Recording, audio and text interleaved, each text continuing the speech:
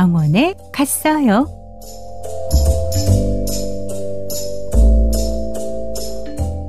안나가 학교에서 돌아왔습니다. 안나야, 오늘은 엄마가 감자튀김과 생선가스를 만들었단다. 맛있겠지? 어서 먹으렴. 엄마, 배가 아파요. 배가 몹시 아프단 말이에요. 안나는 아무것도 먹을 수가 없었습니다. 억지로 입에 넣어주는 감자튀김 조각도 삼킬 수 없어 그대로 뱉어버렸습니다. 내 배를 누가 콕콕 찌르는 것 같아요. 배가 너무 아파요. 엄마는 걱정스런 얼굴로 안나의 머리를 쓰다듬고는 병원으로 데리고 갔습니다. 의사 선생님이 안나의 배를 진찰했습니다. 여기가 아프니? 어, 여기는 어때? 안나는 고통스러운 듯 혀를 물고 고개를 끄덕였습니다. 맹장이 아픈 게로구나. 맹장이라고요? 그게 뭐죠? 의사 선생님은 안나에게 맹장이 무엇인지 간단히 설명했습니다. 뱃속 창자에 붙어 있는 것이란다. 그곳에 염증이 생긴 거야. 그래서 배가 아팠던 거야. 수술해서 그 맹장을 떼어내야 한단다. 그러면 맹장은 아주 없어지는 거예요? 음, 맹장은 꼭 있어야 하는 게 아니야. 사람에게 꼭 필요한 것이 아니거든. 필요하지도 않은데 왜 사람 몸에 있는 거죠? 음, 정말 알 수 없는 것이 너무 많아요. 의사 선생님이 웃으면서 말했습니다. 선생님도 아직 모르는 것이 많단다. 안나야, 그럼 또 보자. 안나는 수술을 받기 위해 엄마와 함께 외과 병동으로 왔습니다. 아주 큰 엘리베이터를 타고 올라왔습니다. 그때 저쪽에서 간호사가 침대를 밀고 지나갔습니다. 그 침대에는 할머니가 누워 있었습니다. 할머니가 안나에게 손을 들어 인사하자 안나도 할머니에게 인사했습니다. 카티라고 하는 간호사가 안나를 친절하게 맞아줬습니다. 그 간호사는 안나가 환자복으로 갈아입는 것을 도와줬습니다.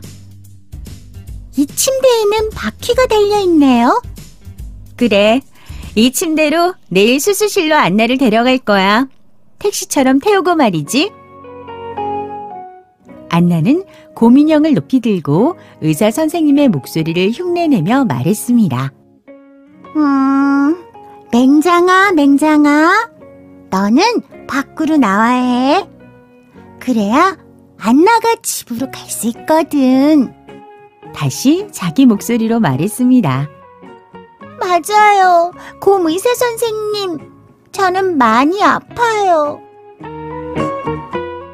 어제부터 안나는 아무것도 먹지 않았습니다. 수술하기 위해서는 아무것도 먹지 말아야 하거든요. 의사 선생님이 마취 주사를 팔에 놓으면서 말했습니다.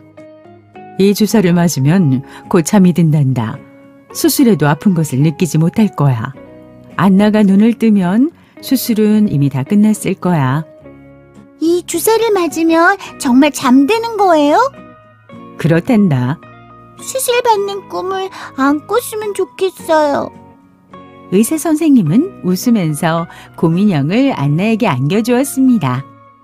수술실 앞까지는 고민형을 가져가도 된단다. 안나가 마취에서 깨어났습니다.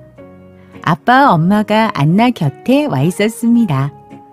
엄마는 안나의 뺨을 쓰다듬어 줬습니다. 안나는 엄마, 아빠가 곁에 있어서 마음이 편안해졌습니다. 안나는 다시 눈을 감았습니다. 아빠는 안나의 오른손을 잡아줬습니다. 안나의 왼쪽 팔에는 고민형이 안겨 있었습니다. 안나는 며칠 더 병원에 있어야 했습니다. 침대를 오르내릴 때마다 수술한 자리가 아팠습니다. 매일 아침 의사 선생님이 안나를 진찰하러 왔습니다. 앞으로는 절대로 맹장 때문에 배가 아프진 않을 거야. 웃으면서 의사 선생님이 말했습니다. 안나도 방긋이 웃으며 말했습니다. 고민 형이 배가 아프다고 하면 의사 선생님께 또 올 거예요. 이제 안나는 모든 간호사들의 이름을 알게 됐습니다. 엘피, 카티, 로즈마리, 가비, 소냐, 밀리, 마리아. 그 간호사들이 날마다 번갈아 가면서 안나를 보살펴 줬습니다. 간호사들은 안나를 씻겨주기도 하고 침대보도 깨끗하게 갈아줬습니다.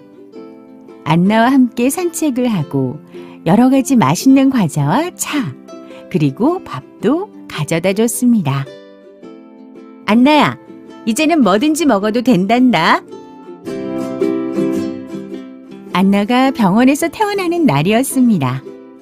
아직까지 걸을 때마다 수술한 곳이 조금 아파요. 안나가 카티 간호사에게 말했습니다. 조금만 더 있으면 하나도 아프지 않을 거야. 카티 간호사는 안나에게 귓속말을 하고는 안나의 뺨을 부드럽게 만져줬습니다.